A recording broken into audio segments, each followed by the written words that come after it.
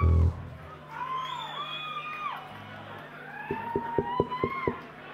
told a lie last night. I try, I try very hard to live an honest, an honest lifestyle. But I fucking straight up lied last night.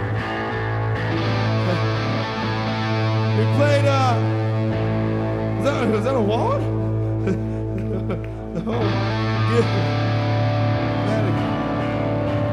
W. Tibbetts, you are tardy for class.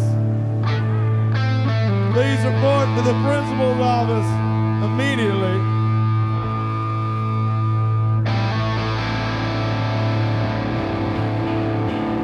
Lauren Nelson says, so good seeing you guys.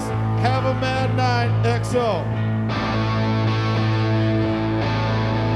Thanks for the stuff. Gifts and gifts from the audience. Good. No, no, yeah. How do I know?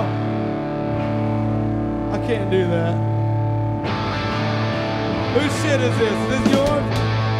No, no, no, no. You know what? All right, there you go.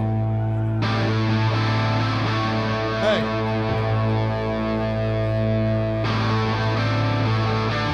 Sharon, get back to Lauren. I think she likes you.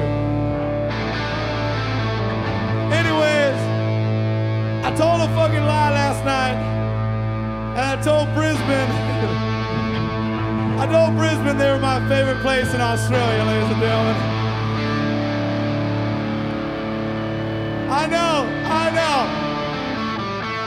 Hey, hey, I have a sentimental thing for me because it's the first place we landed as a band when we came to Australia, the very first time. But it was an outright lie, and I'm coming clean in front of you now.